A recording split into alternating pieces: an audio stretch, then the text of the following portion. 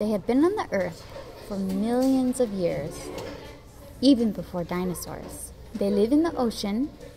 Some are as big as a human, and others are as small as a pinhead. What are they? Sea lion. No. Sharks? No. How about some more hints? It has no head, brain, heart, eyes, nor ears. It has no bones either, and it's 95% water. Octopus. No. Jellyfish. What else is so interesting and unique about a jellyfish? Out of water, jellies are a gooey mess. They could not move on land or fly through the air, but they move gracefully through the water. Jellies rely on the current and tides to carry them. They jet through the water by contracting their bell shaped body and pushing the water behind them. Scientist John Dabiri is an expert in jellyfish movement.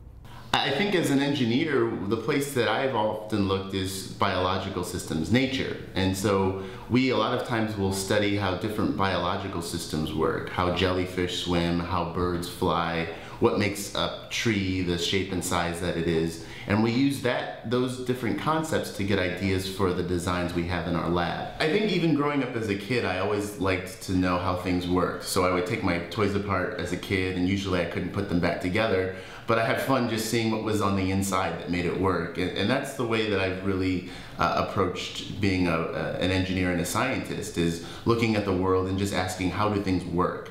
And then also saying, well, once we figure out how it works, can I build something like that? So with the jellyfish, we spent a lot of time trying to understand how does a jellyfish work? What makes it swim? What makes it be able to catch its uh, food and to avoid being food for some other animal?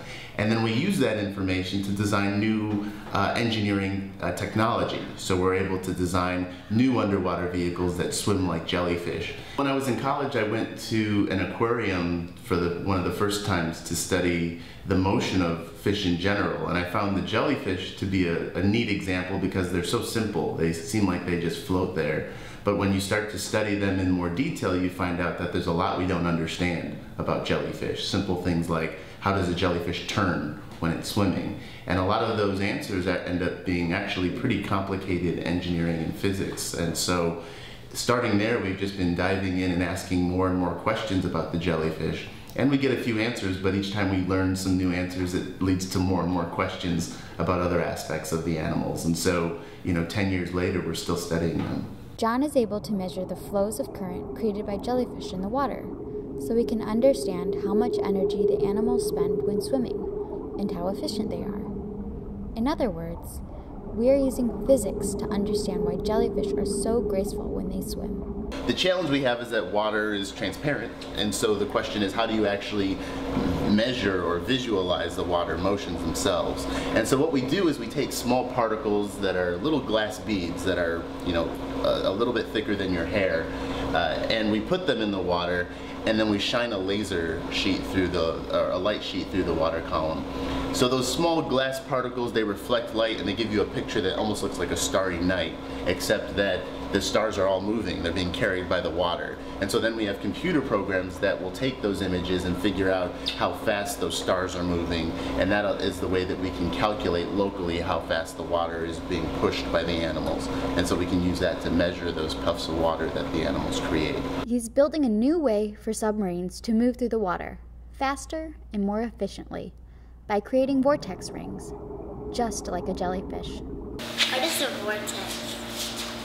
So a vortex is a puff of water that's shaped like a donut and it spins around in the water and the jellyfish is able to use it both to push itself through the water to create propulsion, that swimming motion, but also to capture prey. One of the neat things about science is that we can use math to describe these vortex rings in a way that we can compare the ones that a jellyfish creates to the ones that our robots create in the ocean, the underwater submarines.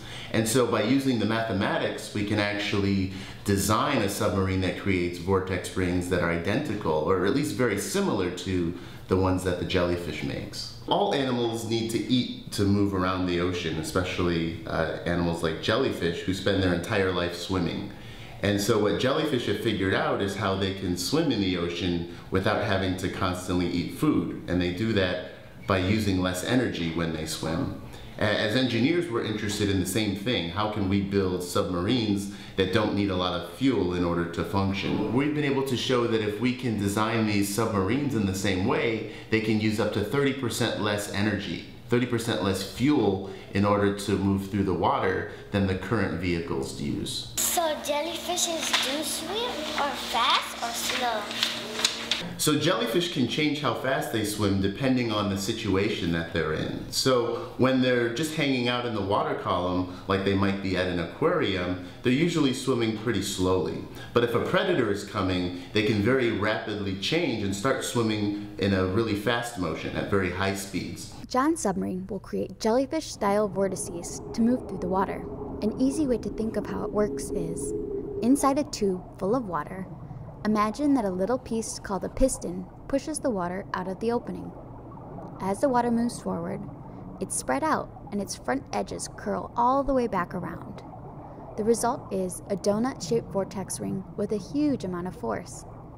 As a consequence, there is a reaction in the opposite direction, pushing the submarine forward. Science is a lot like solving a puzzle, except that there's no end point. There's not a, a, point at which we say we know everything about the jellyfish, for example. What we're able to do is to say that today we know more than we did when we began, and so the information we know today has helped us to design more efficient underwater vehicles, for example. So we can use the science that we've developed to create new technologies, but there's always going to be new questions that arise once we learn a little bit more. So once we figure out how the animal turns, we, we then ask the question, okay, well, how are they able to sense the direction that they want to go in the first place?